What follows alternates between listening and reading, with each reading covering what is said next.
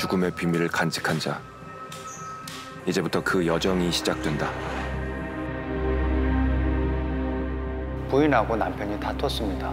그리고 남편이 잠깐 나간 사이에 부인이 홧김에 목을 맨 것 같고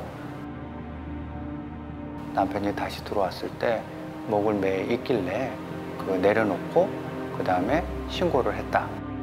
아내가 두 발이 공중에 떠 있는 채로 매달려 있자 남편은 서둘러 목을 맨 끈을 잘라 아내를 내렸다고 한다. 경찰이 도착했을 때 사망자는 안방 이불 위로 옮겨진 상태였다. 그렇다면 과연 사망자가 죽음을 선택한 이유는 무엇이었을까? 만약 현장에 숨은 그림이 있다면 부검을 통해서 찾아내야 한다. 법의학에선 목맴 시체를 다룰 때 처음 발견된 정황에 대해 주목을 한다.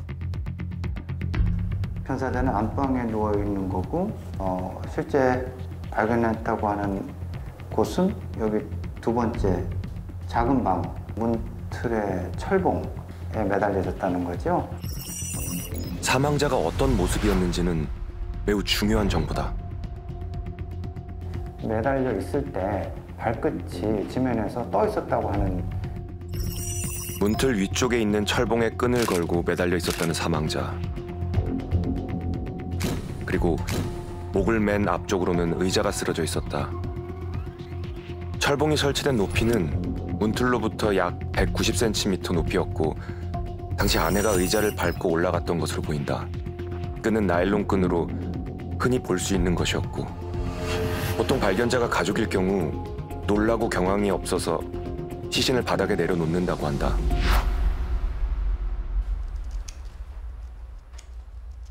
이제 죽은 자의 이야기를 들어볼 차례다. 시신에 남겨진 흔적은 모든 것을 말해준다. 먼저 겉으로 드러난 모습을 주목해야 한다. 어, 여기 이마에 보이는 거 이거를 좀 사진을 좀 촬영을 할까요? 이마에 붉은색을 띠는 타원형 형태의 크고 작은 상처들이 있다. 그다음에 왼쪽 팔 쪽에 보이는 그 상처 좀 팔에도 비슷한 상처들이 눈에 띄었다. 그리고 목에도 지금 이마에 난 거하고 유사한 성상인데 좀 이렇게 한 네 개 이상의 그 두피 박탈이 있는데 생활 반응이 없어요. 주황 색깔이 나고 몸 이곳저곳에 의문의 상처들이 있다. 이제 그쪽에서 좀 재주세요. 상처들이 다 일정하게 보이진 않네요. 음. 일정한 모양이나 음. 일반적인 상처 아니에요. 뭐 일반적으로 보이진 않죠. 이거가 현장에 있었다고 하는 그 막대기가 있거든요. 남편의 진술로는 이 플라스틱 막대기로 아내를 여러 차례 때렸다고 한다.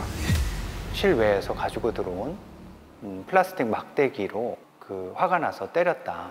그리고 그걸로 찌르듯이 때렸다. 때린 것 때문에 여자가 또 속상하고 화가 나서 목을 맨 것 같다.